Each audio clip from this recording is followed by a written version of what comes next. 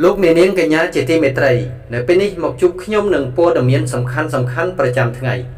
កាន់តែក្តៅទៅក្តៅទៅហើយមីយ៉ាន់ម៉ាកំពុងតែកើតរឿងឡើងគួរឲ្យសង្វេគយោធាមីយ៉ាន់ម៉ាបានដណ្ដើមអំណាចនៅព្រឹកថ្ងៃទី1កុម្ភៈឆ្នាំ2021ក្នុងរដ្ឋប្រហារប្រឆាំងនឹងរដ្ឋាភិបាលដែលបានជាប់ឆ្នោតតាមលទ្ធិប្រជាធិបតេយ្យរបស់លោកស្រីអ៊ុងសានស៊ូជីដែលត្រូវបានឃុំខ្លួន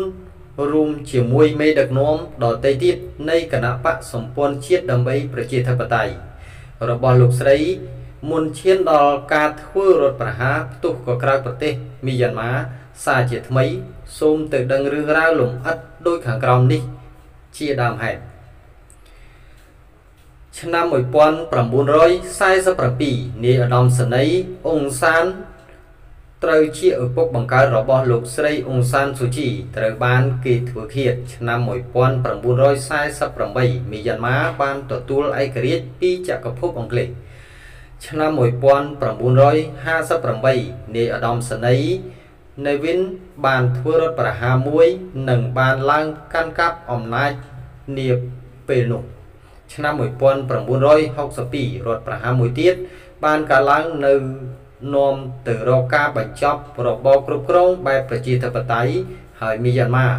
បានក្លាយជាប្រទេសផ្ដាច់ការយោធាក្រោមការគ្រប់គ្រងរបស់គណៈបកកម្មវិធីសង្គមនិយមភូមាឆ្នាំ1988ប្រទេសបន្តស្ថិតក្នុងរបបផ្ដាច់ការក្រោមការកាន់កាប់អំណាចរបស់យោធា ហើយពេលនោះអ្នកស្រីអ៊ុងសានស៊ូជីត្រូវបានឃុំខ្លួន ឆ្នាំ2010ចលនាប្រជាធិបតេយ្យចាប់កំណើតសារជាថ្មី នៅមីយ៉ាន់ម៉ាលោកស្រីអ៊ុងសានស៊ូជីត្រូវបានដោះលែងពីការឃុំខ្លួនក្នុងផ្ទះឆ្នាំ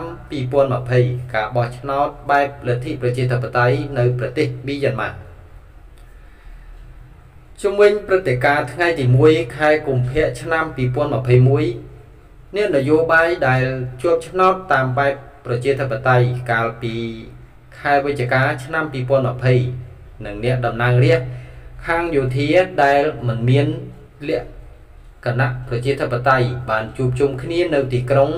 ណៃពីដោដើម្បីបង្កើតរដ្ឋាភិបាលថ្មីមួយដែលនឹងដឹកនាំប្រទេសសម្រាប់រយៈពេល5ឆ្នាំខាងមុខនេះអ្វីដែលបានកើតឡើងជាក់ស្ដែង1អ្នកនយោបាយជាប់ឆ្នោតតាមបែបប្រជាធិបតេយ្យ រួមមានលោកស្រីអ៊ុងសានស៊ូជីនិងលោកប្រធានាធិបតីទាំងថ្នាក់ដឹកនាំជាច្រើនរូបទៀតនៃគណៈបកសម្ព័ន្ធជាតិដើម្បីប្រជាធិបតេយ្យ NLD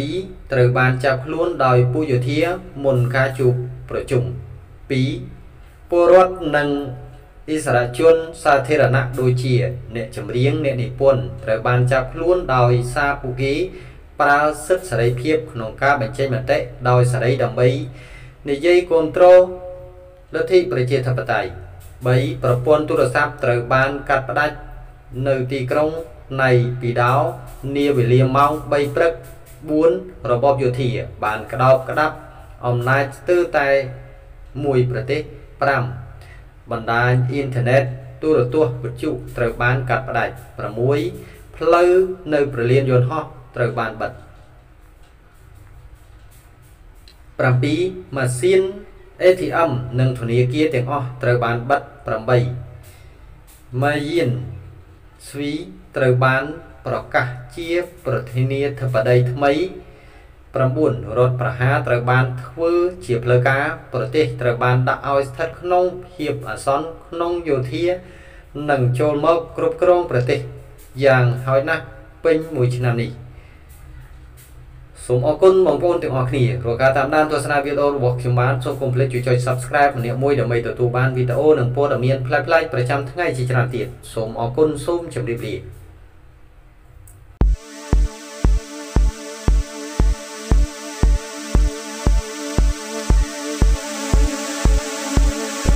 ា